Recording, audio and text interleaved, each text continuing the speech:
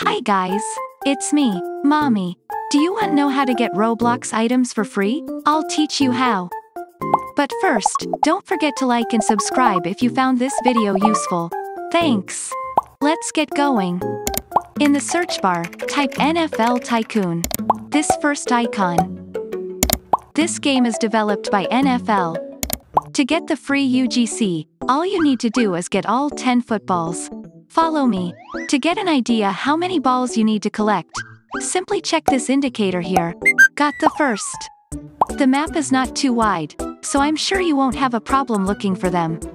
And the second one. This free UGC has been here for a while and I am super happy to know that it is still available. Majority of the balls can be found here at the center. Third. There's the fourth. For the fifth, go here. And the sixth.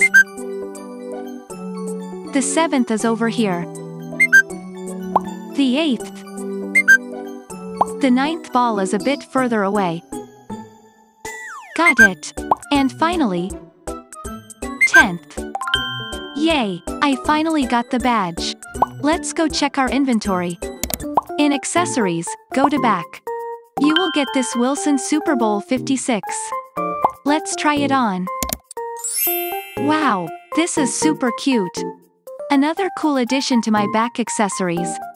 I feel really light and bouncy. Be sure to get this today while it is still available. Don't forget to check this free Roblox item for more free UGCs. See you on the next Roblox free item video. Bye.